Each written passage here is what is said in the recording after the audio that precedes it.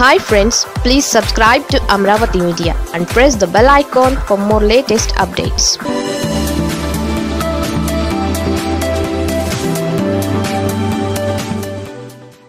AB వెంకటేశ్వరరావును వదలని జగన్ సర్కార్ మరోసారి ఊహించని షాక్.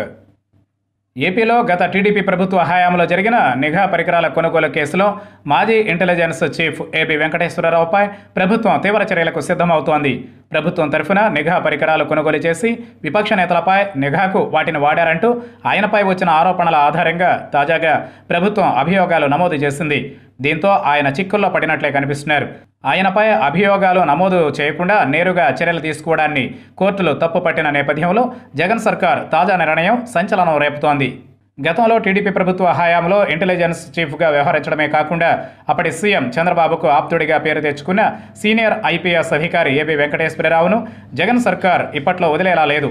చంద్రబాబు హయాంలో ఆయన కొనుగోలు చేసిన భద్రతా పరికరాల వ్యవహారాన్ని త్రవ్వి తీసిన జగన్ ప్రభుత్వం ఆయన్ను సస్పెండ్ చేయడమే కాకుండా పలు చర్యలకు ఉపక్రమించింది. అయితే ఏపీ ప్రభుత్వం చర్యలను న్యాయస్థానాల్లో సవాల్ చేసిన ఏబీకి ఓ మాస్తరు ఊరట మాత్రమే దక్కింది.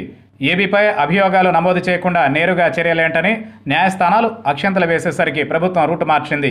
గత టీడీపీ ప్రభుత్వ హయాంలో జరిగిన నిఘా పరికరాల కొనుగోళ్ళ వ్యవహారంలో ఏబీ వెంకటేశ్వరరావుపై సర్కార్ తాజాగా అభియోగాలు నమోదు చేసింది. వీటిలో ఇజ్రాయెల్కు చెందిన ఆర్టీ ఇన్ఫ్లాటబుల్ అబ్జెక్ట్స్ ఇండియా లిమిటెడ్కు కాంట్రాక్ట్ దక్కేలా ఏబీ ఒత్తిడి తీసుకురావడం సదరు పరికరాల కొనుగోళ్ళలో నాణ్యత సమర్థత గ్యారంటీ వంటి విషయాల్లో రాజీపడి తన కుమారుడు చేతన్ సాయికృష్ణకు కాంట్రాక్ట్ ఇప్పించడం ఇజ్రాయెల్ సంస్థకు భారత్లో ప్రతినిధిగా ఉన్న తన కుమారుడి సంస్థ ఆకాశం అడ్వాన్స్డ్ సిస్టమ్స్ లిమిటెడ్ వివరాలను ప్రభుత్వానికి ఇవ్వకపోవడం బిడ్డింగ్లోనూ అనుభవం లేని కాంపిటేటివ్ సంస్థలను పెట్టి తన కుమారుడి సంస్థకు కాంట్రాక్ట్ ఇప్పించుకోవడం అందులోనూ ప్రభుత్వ మార్గదర్శకాలు పాటించకపోవడం వంటి అభియోగాలు ఉన్నాయి. ప్రభుత్వం నమోదు చేసిన అభియోగాలపై ఏపీ వెంకటేశ్వరరావు పదిహేను రోజుల్లో లిఖితపూర్వకంగా కానీ నేరుగా హాజరై కానీ వివరణ ఇవ్వాలని కోరారు. అంతేకాక ఈ వివరణ కూడా తనపై నమోదైన అభియోగాలకే పరిమితం కావాలని షరతు పెట్టారు.